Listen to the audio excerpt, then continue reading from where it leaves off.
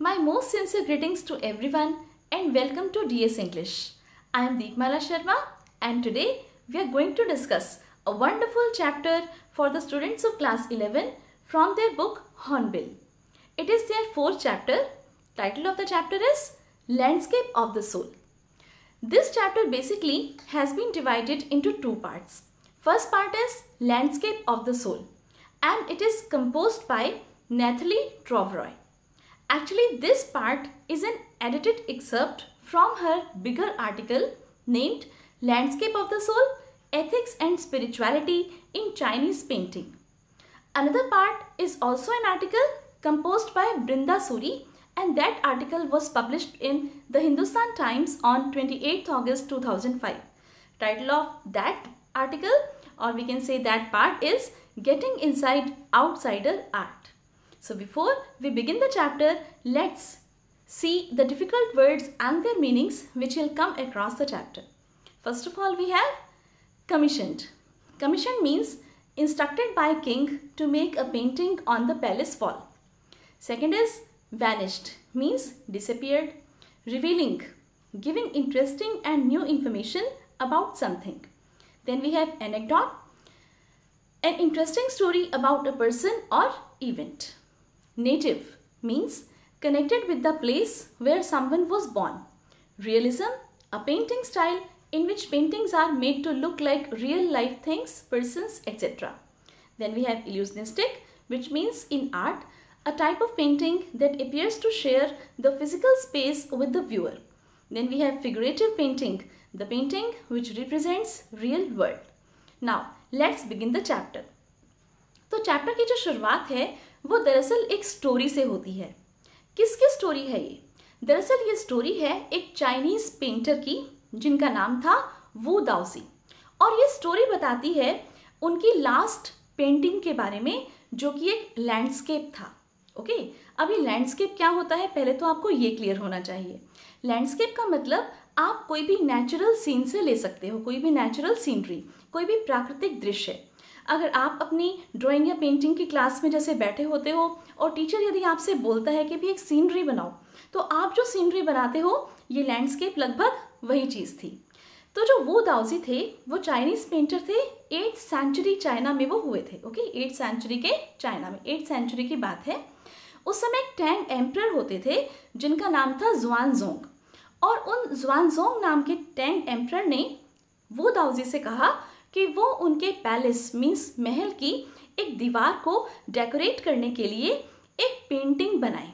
और वो पेंटिंग किस चीज़ की होनी चाहिए? एक लैंडस्केप की ओके तो वो जो लैंडस्केप जो था, वो उन्होंने बनाया राइट अब जैसा कि मैंने आपको बताया लैंडस्केप में क्या होता है, ठीक इसी तरह से उन्होंने भी उस लैंडस्केप के अंदर बनाए बहुत बड़े बड़े forests mountains waterfalls clouds immense sky और वहाँ पर बर्ड्स उड़ रहे थे। ओके okay, आप समझ गए मेरी बात को कि माउंटेन्स भी थे स्काई था बर्ड्स उड़ रहे थे फॉरेस्ट थे नीचे वाटर था। तो ये सब चीज़ें उनके लैंडस्केप में दिख रही थी। लेकिन उन्होंने इस लैंडस्केप को किसी को भी नहीं दिखाया। उन्होंने इस लैंडस्केप को एक स्क्रीन से कवर करके रखा। वो ये चाहते थे कि सबसे पहले ये जो लैंडस्केप है ये जो महाराज हैं वो देखें। तो जैसे ही महाराज आए एम्प्रर आए उन्होंने वो स्क्रीन हटा दिया, वो कवर हटा दिया और उनके सामने था वो खूबसूरत लैंडस्केप जैसे ही महाराज ने वो उस लैंडस्केप को देखना शुरू किया पेंटर ने कहा कि, सर, देखिए, ये लैंडस्केप आपके सामने है और आप देखिए इसको ध्यान से कि मैंने यहाँ पर एक केव भी बनाई है. केव का मतलब गुफा ओके तो केव भी बनाई है, गुफा भी बनाई है और चलिए मैं आपको इसके अंदर ले चलता हूँ।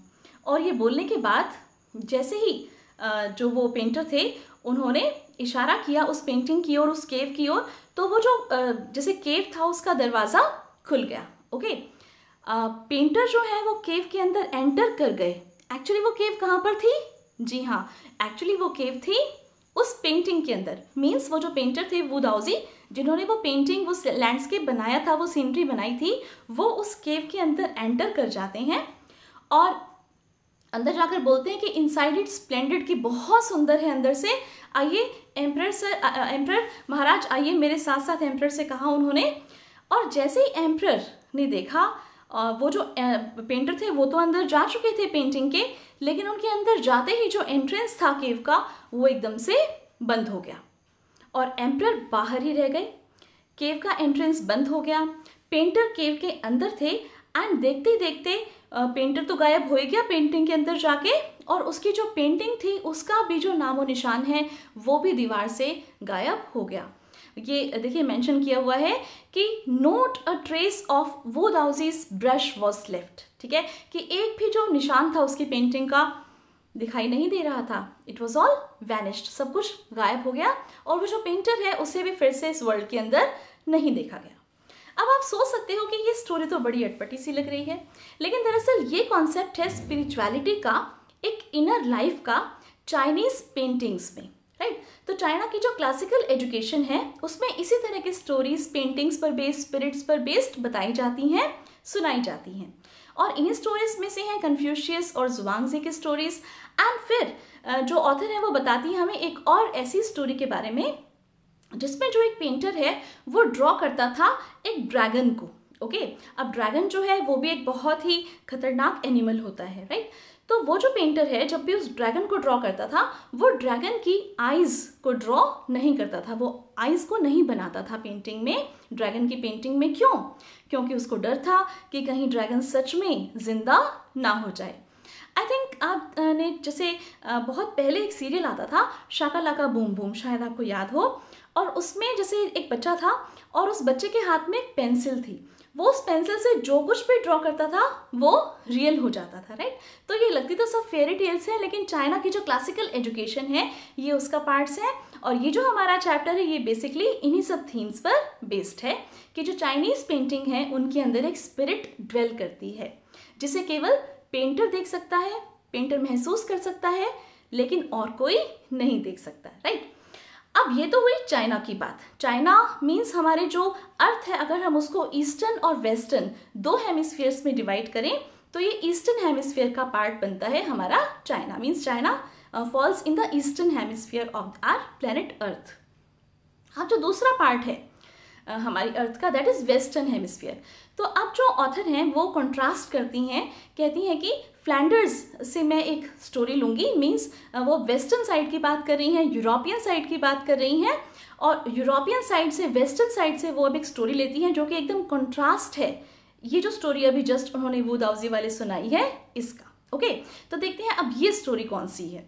तो ये स्टोरी दरअसल है फिफ्टीन सेंचुरी एंटवर्प की, और इसमें एक मास्टर ब्लैकस्मिथ था, जिसका नाम था क्विंटन मैक्सिस ओके तो आपको ये नाम याद रखने पड़ेंगे दरअसल। जैसे वो दाउजी का नाम अभी आया था, या यहाँ पर क्विंटन मैक्सिस का नाम आया है राइट तो ये जो क्विंटन मैक्सिस था, इसकी स्टोरी है, जो कि फिफ्टीन सेंचुरी एंटवर्प में था। ये एक मास्टर ब्लैकस्मिथ था, यानी कि पेशे से एक लोहार था right and a fall in love he falls in love with a painter's daughter okay ये जैसे प्यार करने लगता है एक पेंटर की डॉटर को and he wants to get married to her लेकिन जो, वो जो लड़की है, उसके जो फादर हैं he is actually a very big painter very big artist तो वो कभी भी नहीं चाहते थे कि उनकी जो बेटी है, वो एक लोहार से शादी करे ओके तो वो इस तरह के सन इन लॉ को कभी भी एक्सेप्ट नहीं करते। तो आप सन इन लॉ के सामने मीन्स क्विंटन मेट्सिस के सामने एक बहुत बड़ा चैलेंज था कि वो किस तरह से अपने फादर इन लॉ को कन्विंस करे, कैसे उन्हें मनाए इस शादी के लिए। तो क्विंटन मेट्रिस ने क्या किया? ही सीक्रेटली स्नीट मतलब बिल्कुल चुपचाप एकदम जैसे किसी को पता नहीं चला, एकदम चुपचाप से वो अपने would be father in law means उस डॉटर के फादर के स्टूडियो में चला जाता है। स्टूडियो का मतलब जहाँ पर वो जो पेंटर हैं, वो पेंटिंग बनाते थे। तो वहाँ पर कैनवस लगा हुआ था, जो भी कोई फ्रेश पेंटिंग वो बना रहे थे, उसका। तो क्विंटन मैट्रिस ने क्या किया कि उस कैनवस के ऊपर एक फ्लाई ड्रॉ कर दी। फ्लाई का मतलब मक्खी ओके तो एक मक्खी बना दी, और वो जो मक्खी थी, वो देखने में इतनी रियल लग रही थी कि जैसे ही वो पेंटर स्टूडियो के अंदर आए, उन्होंने देखा कि अरे, उनकी पेंटिंग के ऊपर तो एक सच की मक्खी बैठी है, उनको ये लगा। And he really try to swat it away उन्होंने उसको उड़ाने की कोशिश की कि ये मक्खी यहाँ से चली जाए। तो वो इतनी रियल लग रही थी क्विंटन मैट्सिस की बनाई हुई फ्लाई उनकी पेंटिंग पर बैठी हुई। वो इतने ज़्यादा उससे इंस्पायर होते ज़्यादा खुश हुए जो पेंटर थे कि उन्होंने क्विंटन मैट्सिस को अपने स्टूडियो में एक अप्रेंटिस के रूप में रख लिया and finally he also got married to his daughter तो अब आप देखिए कि ये जो फ्लाई थी, ये कितने डेलिकेट रियलिज्म के साथ एंड इल्यूजनिस्टिक लाइटनेस के साथ उसने बनाई थी। अब ये दो टर्म्स मैं आपको क्लियर करती हूँ, क्या होती हैं, देखिए। डेलिकेट रियलिज्म का क्या मतलब है? पहले तो ये देखिए। तो क्विंटन मेट्सिस ने डेलिकेट रियलिज्म के साथ ये फ्लाई बनाई थी। डेलिकेट रियलिज्म का मतलब होता है दरअसल बिल्कुल जो बात हमें रियल लगे राइट एकदम, जैसे मान लीजिए it refers to the alluring quality of the art which makes it seem real it is an interest in और कंसर्न फॉर द एक्चुअल और रियल एक्चुअल और real as oppose to abstract तो इसमें जो क्विंटन मेट्सिस हैं, वो बिल्कुल actually एक फ्लाई जैसा लग रहा है कि फ्लाई सच की फ्लाई बना दी है। एक्चुअली वो एक फ्लाई लगती है, इस तरह से एक फ्लाई बनाते हैं राइट और अब जो है, मैं आपको बताती हूँ कि इल्यूजनिस्टिक लाइकनेस क्या है। तो illusionistic likeness illusionistic likeness okay ये भी टर्म काफ़ी इंपॉर्टेंट है पेपर में कई बार पूछ ली जाती है। इल्यूजनिस्टिक का क्या मतलब है? पहले आप ये समझिए। इल्यूजनिस्टिक जो वर्ड है, वो इल्यूजन से बना है राइट right? तो इल्यूजन का मतलब भ्रम ओके okay? तो एक भ्रम लगता है। एक हमें आभास होता है, लेकिन एक्चुअली वो चीज़ नहीं होती। तो that is illusionistic and likeness का मतलब क्या है? लाइकनेस का मतलब हुआ कि बिल्कुल वैसा का वैसा लगना। यानी कि ऐसा भ्रम होना कि ये चीज़ तो बिल्कुल वो की वो है। तो वो जो फ्लाई थी, वो बिल्कुल एक इल्यूजन उसको हुआ कि जैसे ये तो एकदम रियल फ्लाई है। तो ये जो टर्म्स हैं, ये दोनों टर्म्स यहाँ पर इंपॉर्टेंट हैं। इल्यूजनिस्टिक लाइकनेस का मतलब आपकी स्क्रीन पर है, आप देख सकते हैं। It refers to an adjective of the technique of using pictorial methods in order to deceive the eye. मतलब आँखों से देखोगे तो आपको एकदम धोखा हो जाएगा, आपको भ्रम हो जाएगा कि ये चीज़ तो बिल्कुल रियल है। The reference to an illusion created by the semblance of something तो एकदम सेम वो चीज़ आपको लगेगी, इस तरह से ये इल्यूजन्स बनाते हैं। एंड सेकेंड टर्म मैंने आपको एक्सप्लेन कर दी थी डेलीकेट रियलिज्म के बिल्कुल रियल लगती है वो चीज़ राइट right? अब आप देखिए इसके अलावा जो है, अब ऑथर जो है, दरअसल ये दो स्टोरीज प्रेजेंट करके हमें एक कंट्रास्ट प्रेजेंट करना चाहती हैं between Chinese painting and western painting तो चाइनीज़ पेंटिंग के हिसाब से आपने जस्ट अभी देखा ही है कि वो दाउजी ने जो पेंटिंग बनाई थी ओके वो जो है, उसको पेंटर ही केवल देख सकता है बहुत अच्छे से, लेकिन अगर मान लीजिए कोई व्यूअर उसे देखता है तो वो उतने अच्छे से उसको समझ नहीं पाता इतने अच्छे से उसको एक्सप्लोर नहीं कर पाता। जैसे कि आपने देखा कि वो दाउजी जो है, उन्होंने वो पेंटिंग बनाई केव बनाई अब वो केव जो है, वो केवल उसके अंदर क्या स्पिरिट है? ओके केव खुलती है, अंदर चला जाता है वो दाउजी तो ये सब किसके साथ हो रहा है? ये जस्ट पेंटर के साथ हो रहा है। एम्पर के साथ ऐसा कुछ भी नहीं हो रहा राइट तो यहाँ पर आप दो स्लाइड्स देख सकते हो। जैसे एक तो है चाइनीज़ लैंडस्केप की पेंटिंग और दूसरी है वेस्टर्न लैंडस्केप की पेंटिंग तो जो चाइनीज़ लैंडस्केप पेंटिंग है, इसे आपको खुद समझना पड़ेगा ओके कि इसके अंदर क्या है? You are free to feel you are free to go through okay you are free to evaluate you are free to assess what is there in this painting लेकिन जो दूसरी हमारी पेंटिंग है दिस वन ये western landscape है right western landscape में जो कुछ भी दिख रहा है, वो एकदम हमें रियल लग रहा है। हम देख सकते हैं कि जी हाँ यहाँ पर पेड़ उगे हुए हैं, ऊपर बादल हैं, नीचे एक वाटर है मीन्स रिवर टाइप से है राइट और ये जो है घास वगैरह मतलब ये जो चीज़ हमें दिख रही है ये जो सच में दिख रही हैं, यही हैं राइट लेकिन यहाँ पर हमें सब कुछ अपने आप ही सोचना पड़ता है। तो इन्हीं पॉइंट्स को ध्यान में रखते हुए अब ऑथर ने एक कंट्रास्ट प्रेजेंट किया है between Chinese landscape painting and western landscape painting मैंने आपके लिए दो स्लाइड्स भी यहाँ पर प्रिपेयर की हैं, आप देखिए, क्योंकि ये जो क्वेश्चन है, ये मोस्ट इंपॉर्टेंट क्वेश्चन है इस चैप्टर का। आप देखिए highlights of Chinese landscape painting a classical Chinese landscape is not meant to reproduce in actual view तो चाइनीज़ लैंडस्केप को जब आप देखोगे तो आपको कोई एक्चुअली व्यू वहाँ पर नहीं दिखेगा। Second is the Chinese painter does not choose a single view point okay कि भी एक ही केवल नज़रिया नहीं है आप किसी भी एंगल से उसको देख सकते हो। Then his landscape is not a real one and you can enter it from any point then travel in it The artist creates a path for your eyes to travel up and down, then back again in a leisurely movement. तो आपने देखा कि landscape एक बना दिया Chinese painter ने। तो आप इसको लैंडस्केप को ऑब्ज़र्व करने के लिए, देखने के लिए एकदम फ्री होते हो। आपका दिल करे, आप इसको वर्टिकली देखिए। मीन सबसे पहले ऊपर देख लीजिए, फिर नीचे देखिए राइट ऊपर से नीचे नीचे से ऊपर देखिए। देन आप चाहे तो इसको हॉरिजोंटली देखिए। हॉरिजोंटली में कैसे? लेफ़्ट टू राइट देखिए या राइट टू लेफ़्ट देखिए। तो आप फ्री होते हो सो किसी भी एंगल से देखने के लिए, कुछ भी इसके बारे में समझने के लिए।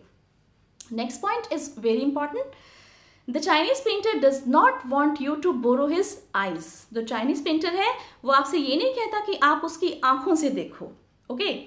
वो क्या कहता है? He wants you to enter his mind now this point is very important जो चाइनीज़ पेंटर है, वो ये सोचता है कि जिस दिमाग के साथ उसने ये पेंटिंग बनाई है, वो जो कहना चाह रहा है, वो जो दिमाग से सोच रहा है, आप उसी के हिसाब से इस पेंटिंग को देखो right the landscape is an inner one a spiritual and conceptual space तो ये एक इनर वन लैंडस्केप होता है मीन्स आत्मा का okay the landscape is an inner one a spiritual and conceptual space and then we have western painting देखिए European landscape painting में क्या स्पेशलिटीज होती हैं? उसके हाईलाइट्स पे देख लेते हैं। डेलिकेट रियलिज्म अभी जस्ट मैंने आपको टर्म एक्सप्लेन की थी means which seems to be real a perfect illusionistic likeness is there means it appears कि ये आपका इल्यूजन है it's not true okay and सच में ये इल्यूजन ही होता है uh, सच में होता भी नहीं एक्चुअली ये होता भी नहीं राइट right? लाइकनेस का मतलब बिल्कुल सेम लगना। It is a figurative painting figurative painting का मतलब भी यही होता है कि जो चीज़ आप दिखाना चाहते हो एक्चुअली वही चीज़ यहाँ पर दिखाई देती है। Then the European painter wants you to borrow his eyes again very important point जिस तरह से हमने अभी चाइनीज़ पेंटिंग्स के लिए देखा था कि जो चाइनीज़ पेंटर है he wants you to borrow his mind similarly जो यूरोपियन पेंटर है wants you to borrow his eyes मतलब उसने जिस तरीके से वो पेंटिंग बनाई है वो चाहता है कि आप बिल्कुल उसी की आँखों से उसको देखो कि वो एकदम रियल आपको लगे। जो चीज़ वो बनाना चाह रहा है वही चीज़ आपको दिख रही है ऐसी feeling and look at a particular landscape exactly as he saw it from a specific angle तो uh, क्या देख रहे हो? ये भी उसी के हिसाब से होगा एक स्पेसिफिक एंगल भी उसी के हिसाब से होगा जिस तरह से वो चाहेगा आपको दिखाएगा। अब इसी आर्टिकल का जो लास्ट पार्ट है, उस पर हम आ जाते हैं। और यहाँ पर जो ऑथर है, हमें एक और कॉन्सेप्ट दे रही हैं and that concept is shan shui the concept of shan shui is ये चाइनीज़ जैसे मान लीजिए टर्म है, जिसका लिटरल मीनिंग होता है माउंटेन वाटर ओके तो ये भी एग्ज़ाम पॉइंट ऑफ़ व्यू से काफ़ी इंपॉर्टेंट टर्म है। What is the meaning of shan shui ये पूछा जा सकता है आपसे, और एक्सरसाइज में क्वेश्चन है। तो आप समझेंगे इस चीज़ को बहुत अच्छे से। शैन शुई जो है, इसका लिटरल मीनिंग हो गया माउंटेन वाटर अब माउंटेन क्या है और वाटर क्या है, इसे समझेंगे. माउंटेन का मतलब यहाँ पर इन्होंने लिया है यांग से. ओके तो एक और वर्ड हमने दे दिया माउंटेन के लिए दैट इज़ यांग और ये यांग की या माउंटेन की क्या खास बात है? दरअसल ये मैस्कुलिन एस्पेक्ट है नेचर का. Okay and it reaches vertically towards heaven it's stable warm and dry in the sun okay तो देखिए it reaches vertically towards heaven का क्या मतलब है? आपको पता है कि जो माउंटेन है, यदि आप उसको सोचो, उसके बारे में सोचो तो पहली चीज़ तो हमने क्या करी? माउंटेन को यांग नाम दे दिया right yang mountain same thing then जो माउंटेन है, वो वर्टिकली खड़ा होता है राइट और ऐसा लगता है कि जैसे वो हेवन की ओर जा रहा हो। फिर ये एक स्टेबल होता है राइट स्टेबल का मतलब एकदम फिक्स्ड वॉर्म का मतलब वॉर्म का मतलब आपको पता ही है कि जो मान लीजिए मॉइस्ट ना हो जो थोड़ा सा, जैसे मान लीजिए इसके बाद है ड्राई ओके वॉर्म का मतलब थोड़ा सा गर्म हो राइट कोल्ड ना हो warm right and similarly dry तो ये खास बात है किसकी हुई? माउंटेन की that is yang then we have yin yin जो है, ये फेमिनिन एस्पेक्ट है नेचर का, और इसे इन्होंने यिन के लिए दे दिया इन्होंने वर्ड वाटर ओके और वाटर जो है, वो आपको पता है rest horizontally resting on earth okay ये हॉरिजोंटल होता है। माउंटेन जैसे मान लीजिए वर्टिकल होता है तो वाटर का आपको पता है? Water keeps it level okay तो वाटर कीप्स इट्स लेवल और इसीलिए जो है वाटर जो है वो एकदम हॉरिजोंटल होता है। एंड देन आप ये सोच सकते हो कि वाटर जो है वो स्टेबल uh, नहीं होगा क्योंकि ये हमेशा मूव करेगा राइट right? ये फ्लूड होता है। फ्लूड का मतलब ये बहता है राइट एंड मोइस्ट होता है। ये जैसे मान लीजिए नमी वाला होता है, ये ड्राई नहीं होता कोल्ड होता है और वार्म नहीं होता। तो एक कॉन्ट्रास्ट हो गया माउंटेन वाटर में यांग और यिन में। या हम कह सकते हैं कि नेचर के मैस्कुलिन और फेमिनिन एस्पेक्ट में। और ये कॉन्सेप्ट है बेसिकली शेंशुई का। अब इस शेंशुई वाले एस्पेक्ट में माउंटेन वाटर वाले एस्पेक्ट में एक और टर्म ऑथर प्रेजेंट करती हैं and that term is middle void ये क्या है? इसको भी समझिए। तो इसमें ऑथर ये कहना चाहती हैं कि जैसे एक लैंडस्केप में आप माउंटेन बनाओगे वाटर बनाओगे, एक लैंडस्केप बना दोगे उससे ठीक है? तो उसमें कुछ ऐसा स्पेस भी होगा जो खाली रह जाता है ओके इसे कहेंगे हम मिडल वॉइड तो वॉइड का क्या मतलब हुआ? वॉइड का मतलब होता है एकदम खाली रह जाना. तो शेंशुई में, जिसमें यांग और यन का कॉन्सेप्ट हमें समझ में आ गया, इसके अलावा एक और पॉइंट रह जाता है हमारा दैट इज़ वॉइड ओके अब वॉइड को समझाने के लिए देखिए, उन्होंने तो ये एग्ज़ाम्पल दिया कि पेंटिंग में कुछ ऐसा स्पेस भी रह जाता है जो एकदम वाइट होता है ब्लैंक होता है. उसे कहते हैं वॉइड वॉइड का मतलब वैसे भी क्या होता है? कुछ भी ना होना right null nil okay and आप ये देखिए कि जैसे मान लीजिए इसके अलावा एक और एग्ज़ाम्पल से वो वर्ड समझाती हैं कि हम प्राणायाम से भी वर्ड का मीनिंग समझ सकते हैं। प्राणायाम में बेसिकली क्या होता है? प्राणायाम में बेसिकली हम ब्रीद इन करते हैं पहले तो सांस अंदर लेते हैं, फिर हम सांस को कुछ समय के लिए रिटेन करते हैं okay we retain our breath उसके बाद फिर हम ब्रीद आउट करते हैं राइट तो ये तीन चीज़ें हो गई। Breathe in retain your breath and then breathe out तो जो यहाँ पर रिटेन योर ब्रेथ है ओके okay, कि हमें जब सांस को अंदर रोक कर रखना है that is void that is the most important element actually what the author wants to convey ठीक है?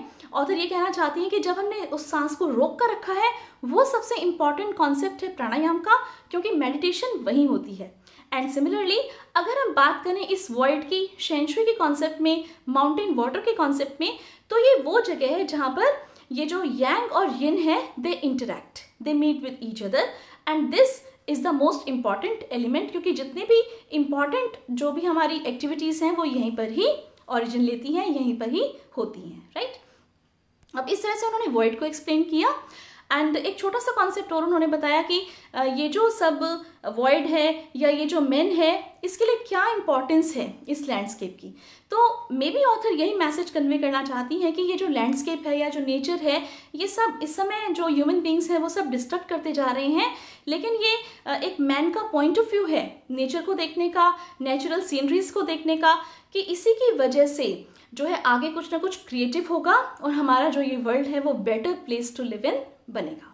अब हम आ जाते हैं इस चैप्टर के सेकेंड पार्ट पर जिसका टाइटल है गेटिंग इनसाइड आउटसाइडर आर्ट अब आप समझेंगे ये क्या है? गेटिंग इनसाइड का मतलब अंदर जाना ओके okay? मीन्स हम समझेंगे इस चीज़ को, इस कॉन्सेप्ट को समझेंगे। किस कॉन्सेप्ट को समझेंगे? आउटसाइडर आर्ट के कॉन्सेप्ट को। तो आप देखिए, पहले तो मैं आपको ये रीड आउट करके बता देती हूँ। When French painter Jean Dubuffet mooted the concept of art bread in the 1940s. The art of the untrained visionary was of minority interest. From its almost veiled beginnings, outsider art has gradually become the fastest growing area in interest in contemporary art internationally.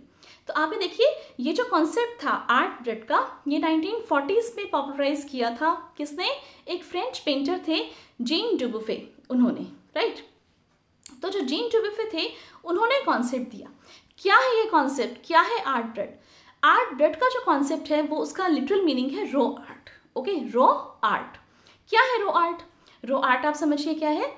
ये दरअसल वो art है, जिस, जो कि एकदम raw state में है. Okay okay? जो कि एकदम परफेक्टली कुक्ड नहीं है. परफेक्टली प्रिपेयर्ड नहीं है. क्यों?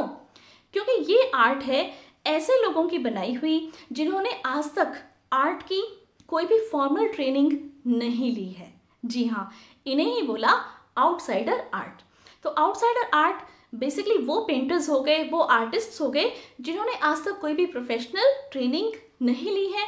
प्रोफेशनल ट्रेनिंग आप समझ गए होंगे कि वो किसी भी आर्ट के स्कूल में जाकर उन्होंने स्टडी नहीं की है and still they create paintings they make paintings and their paintings are quite popular as well तो इस तरह के जो लोग हैं, वो हो गए आउटसाइडर आर्ट में आर्ट ब्रेड में। आई थिंक आपको कॉन्सेप्ट समझ में आया होगा। एंड जिस समय जो जीन डुबफी हैं, वो इस कॉन्सेप्ट को पॉपुलराइज कर रहे थे, उस समय हमारे देश में इंडिया में अब ये बहुत इंपॉर्टेंट फ्रेज है, आप देखिए an untutored genius was creating paradise an untutored genius was creating paradise तो कौन थे ये अनट्यूटेड जीनियस एक अनट्यूटेड जीनियस थे, जो कि पैराडाइज बना रहे थे, ये बात है। अनट्यूटेड का मतलब जिन्होंने कोई ट्यूशंस नहीं ली।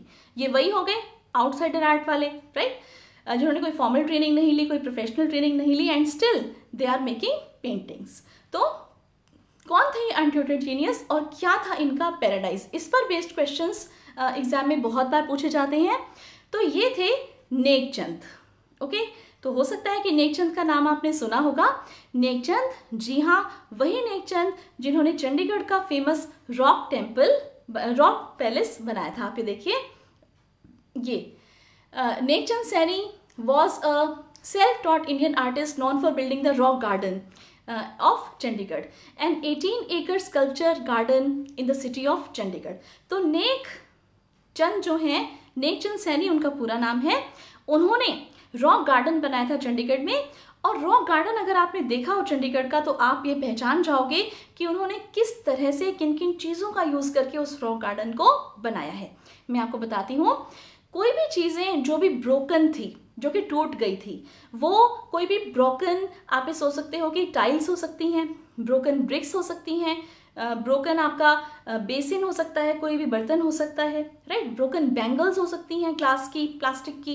इवन आप ये देखिए कि ब्रोकन डाउन कार जो है ओके या ब्रोकन डाउन हमारे सिंक हो सकते हैं. तो इस तरह की कोई भी टूटी हुई चीज़ों को जोड़ जोड़ के उन्होंने इस तरह से, ये जो आप पेंट इसमें देख सकते हो अपने स्लाइड पर, ये देखिए, ये डॉल बनी हुई है और इस पर ये सब ब्रोकन टाइल्स उन्होंने लगा रखी हैं.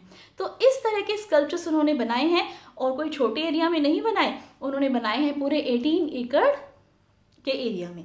तो इस तरह से नेकचंद बन गए हैं हमारे अनट्यूटेड जीनियस जिन्होंने कि एक पैराडाइज बनाया ओके एंड वो पैराडाइज क्या है? रॉक गार्डन ऑफ़ चंडीगढ़ आप इसे बहुत अच्छे से याद रखेंगे। और इसीलिए जो नेकचंद हैं, उनको बहुत टाइम टू टाइम जैसे हम कह सकते हैं कि डिफरेंट डिफरेंट अवार्ड से उनको सम्मानित किया गया है। जैसे एक मैगजीन है, जिसका नाम यहाँ पर दिया हुआ है रॉविजन और उसका स्प्रिंग 2005 का जो एडिशन था, उस पर रॉक गार्डन में से ही एक स्कल्पचर लगी थी लेडी बाय द वाटरफॉल करके। एंड सिमिलरली जैसे मान लीजिए, उनको यूनेस्को की ओर से स्विस कमीशन ने भी जैसे ऑनर किया एंड साथ के साथ उनका एक five month interactive show organise किया जा रहा है रेलम ऑफ़ नेकचंद के नाम से। इसी के रेफरेंस में ये जो आर्टिकल है, ये लिखा था बृंदा सूरी ने। On twenty eight of August two thousand five it was published in the Hindustan Times with this we come to the end of our very important wonderful and very beautiful chapter right लेकिन अभी हमारी video and नहीं हो रही है, क्योंकि यहाँ पर मैंने आपको प्रोवाइड किए हैं NCRT के क्वेश्चन आंसर्स सभी जो क्वेश्चन हैं, उनके सॉल्यूशंस मैंने आपको यहाँ पर प्रोवाइड किए हैं, आप देख सकते हैं। आप चाहें तो इसका स्क्रीनशॉट लेके रख सकते हैं, बाद में लिख लीजिएगा। और या फिर आप साथ के साथ वीडियो को पोज करके भी लिख सकते हो। मैं एक बार थोड़ा थोड़ा सा इन क्वेश्चंस को भी आपके लिए एक्सप्लेन कर देती हूँ आपको ताकि आपको ईजी हो जाए लिखने में। देखिए। Contrast the Chinese view of art with the European view with examples तो ये मैंने आपको बहुत डिटेल में डिस्क्राइब किया था। इस चैप्टर में बेसिकली यही बात बता रखी है मेनली कि चाइनीज़ व्यू क्या है और वेस्टर्न व्यू क्या है। तो चाइनीज़ व्यू में एक इनर लाइफ होती है स्पिरिट होती है। लेकिन यूरोपियन व्यू में ऐसा कुछ भी नहीं होता। उसमें आपको पता है कि इल्यूजनिस्टिक लाइटनेस होती है डेलिकेट रियलिज्म के साथ। फिर सेकेंड पॉइंट जो है, उसमें आप कह सकते हो कि चाइनीज़ जो पेंटिंग्स हैं, उसमें जो पेंटर है, वो आपसे कहता है कि यू एंटर हिज माइंड कि आप उसके माइंड के हिसाब से पेंटिंग को देखिए, समझिए कि भी इसके अंदर वो क्या दिखाना चाहता है। लेकिन जो हमारी वेस्टर्न पेंटिंग है, उसमें जो पेंटर है, वो he wants you to borrow his eyes right और थर्ड में आप एग्ज़ाम्पल दे सकते हो थर्ड डिफरेंस में कि जो वो दाउजी की जो पेंटिंग है वो चाइनीज़ पेंटिंग का एक एग्ज़ाम्पल है एंड जो क्विंटन मैक्सिस की पेंटिंग है ओके okay, वो वेस्टर्न पेंटिंग का एक एग्ज़ाम्पल है यूरोपियन पेंटिंग का एक एग्ज़ाम्पल है. Next question explain the concept of shan shui तो शैनशुई का कॉन्सेप्ट मैंने आपको बहुत अच्छे से एक्सप्लेन किया था that is mountain water okay mountain की क्या स्पेशलिटीज हैं? Stable warm dry vertically towards heaven okay and जो इसको यांग भी कहते हैं, साथ के साथ जो हमारा वाटर है that is yin that is the feminine aspect and it is you see it rest horizontally on earth it is warm it is fluid it is moist right तो ये डिफरेंस है। साथ में मैंने वर्ड के बारे में भी इसमें बताया है तो आप वर्ड का भी यहाँ पे मेंशन कर सकते that is the blank space that is the place where these two aspects interact with each other next is outsider art art blood या रो आर्ट क्या है? ये मैंने आपको बता ही दिया था, जिन्होंने कोई फॉर्मल ट्रेनिंग नहीं ली। तो ऐसी जो आर्ट है, उसको हमने रो स्टेट पे बोल दिया। Then we have untutored genius कौन था, जो मैंने जस्ट अभी आपको बताया था एंड क्रिएटेड अ पैराडाइज तो कौन था? अनट्यूटेड जीनियस यस नेकचंद और क्या था उसका paradise the rock garden of Chandigarh okay and क्या नेचर है इनकी आर्ट का? ये आउटसाइडर आर्ट में आती है, या हम कह सकते हैं कि रो आर्ट में आती है। अब देखिए next question the emperor may rule over the territory he has conquered but only the artist knows the way within तो जो एम्प्रर है, वो चाहे अपने पूरे एरिया का मालिक होगा, पूरी टेरिटरी उसकी होगी, लेकिन जो पेंटिंग है उसके बारे में किसको पता होता है सिर्फ़? पेंटर को। तो ये जो एग्ज़ाम्पल है, ये उसी बात का एग्ज़ाम्पल है जो वो दाउजी ने जो पेंटिंग बनाई थी राइट तो लैंडस्केप उन्होंने बनाया था और उस लैंडस्केप के बारे में सिर्फ़ वो दाउजी को ही पता था कि वहाँ पर कौन सी केव है, कहाँ पर वो स्पिरिट है, किस तरह से उस केव के अंदर एंटर करना है और उसके बाद तो उस पेंटिंग का, वो दाउजी का कहीं भी कोई नामो निशान ही नहीं मिला। और वो जो एम्प्रर थे, चाहे वो उस पूरी सल्तनत के मालिक थे, लेकिन वो उस केव के अंदर एंटर ही नहीं कर पाए, उस पेंटिंग के अंदर एंटर ही नहीं कर पाए।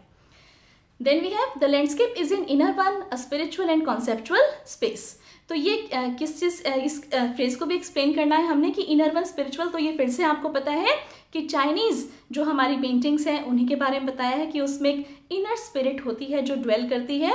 And with this we come to the end of our wonderful discussion of this beautiful chapter landscape of the soul I think you have understood the chapter very well and lords and lords of thanks for watching this video Please don't forget to hit the like button, share it with your friends and subscribe to my channel for more such informative videos.